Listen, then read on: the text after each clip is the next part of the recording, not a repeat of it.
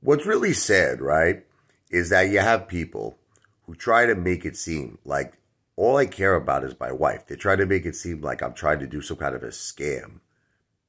Like, like, can't you just understand it's something very simple? I love my wife. I want to help her. That's all it is. And I'm willing to share my experience as a piano player and a piano teacher with you.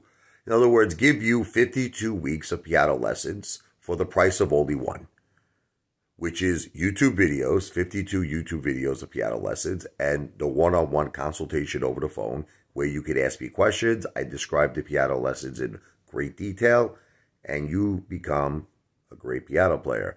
Where I then take that $50 and use it for my wife's special diet. I don't understand how this is all a bad thing. I'm trying to understand.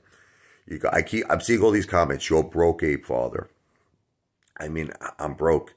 How am I broke? I mean, like, where, where did broke come from? Because why? Because I'm just trying to use something to take my mind, listen to me, off the fact that my wife is going through serious medical problems. It's really affecting me. You have no idea how much it's affecting me.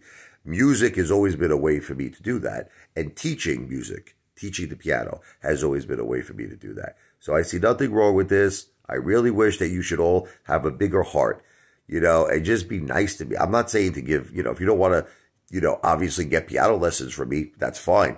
But have a little respect, man. My wife's in the hospital. I'm trying to distract my, my mind. I get all these people calling me, you're like scam artist, fraud artist.